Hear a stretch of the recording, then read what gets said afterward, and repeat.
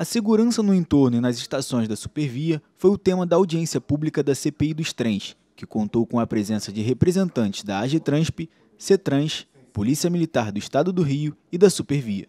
Na apresentação do major da PM Carlos Henrique Cossenza, dados sobre a Operação Estação Segura, que foi criada a partir da solicitação da CPI e entre abril e junho deste ano resultou na prisão de 20 pessoas, apreensão de grande quantidade de armas e drogas, além de veículos, radiotransmissores e cabos de energia elétrica.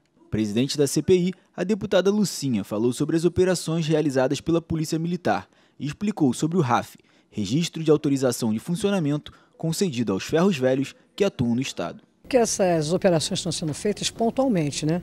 de acordo com a, a mancha marginal. Né? levando em conta também os dados da Supervia da quantidade de furtos de cabos em determinadas áreas.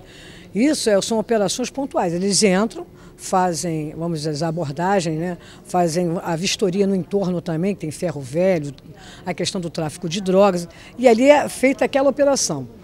Aí, daqui a 15, 20 dias, vão para outro lugar para fazer outra operação. O que nós sugerimos aqui, em termos da CPI, é que essa, essa força-tarefa ela seja, vamos dizer assim, é, periódica.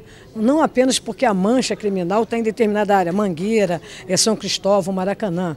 Independente de onde está a mancha criminal, essa força-tarefa por parte da, da Polícia Militar tem que acontecer nas, nos outros ramais, não só no ramal, às vezes, da Baixada ou da Zona Oeste, mas fazer isso pontualmente, né, como se fosse uma rotina. Porque para evitar o furto de cabo tem que ter a presença do poder público, no caso, as instituições da Polícia Militar e da Polícia Civil. A Secretaria da Polícia Civil, né, que é o, o representante da Polícia Civil, teve aqui e eles criaram o tal do RAF, que é o Registro Administrativo de Funcionamento, que todos os ferros velhos vão ter que ter a partir do dia 17 de agosto.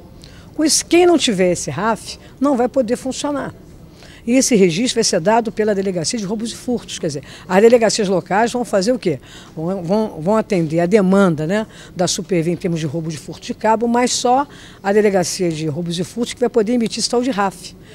É claro que se você tem um órgão específico que vai emitir esse tal de RAF para impedir né, esse funcionamento desses estabelecimentos né, que porventura tenham comprado esse material de furto de cabo, automaticamente isso vai deixar de existir. O deputado Luiz Paulo citou que no Programa de Infraestrutura da Lei de Diretrizes Orçamentárias, a LDO, que direciona os investimentos do governo do estado, só há o metrô leve da Baixada e citou a importância do funcionamento de todo o sistema de transporte de passageiros metropolitano.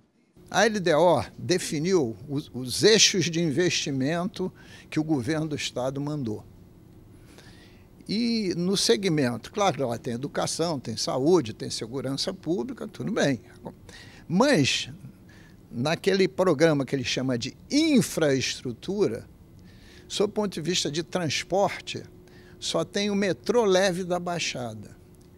Como é que você vai mexer, pensar em metrô leve da Baixada sem os três funcionando. Né? Então, obrigatoriamente, dentro desse eixo infraestrutura, deixa lá o metrô leve lá, não tem nada contra o metrô leve.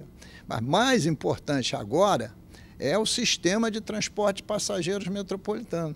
Não é valor, é abrir esta meta para que na lei de orçamento anual, a famosa LOA, que chega aqui até 30 de setembro, quando ela for a pauta para ser emendada, aí a gente pode fazer emenda de valor. Porque também aí a gente já vai ter o relatório da CPI para nos municiar melhor sobre esses temas de, de valores.